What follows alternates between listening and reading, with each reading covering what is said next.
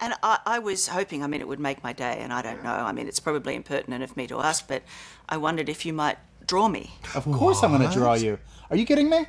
Really? Uh, Without hesitation. Give me a pad. Okay, you have a pad? right. I, I just, I just happened to have- bring a pad, and I I just happened to bring Just a. happen to have Oh, one. sure. I just happened to have one in my pocket.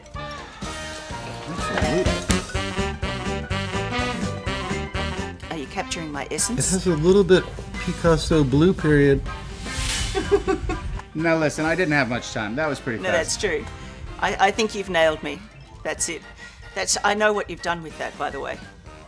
I can see what you've done. We can't use any of it. What do you mean? You're, you're blurring out this entire photo? Then this entire The whole drawing? thing, we can't do any, none of that. Will you sign it, please? Because I think she's going to take it. I know you're going to take it home. So I'm, course definitely taking it home. You But knew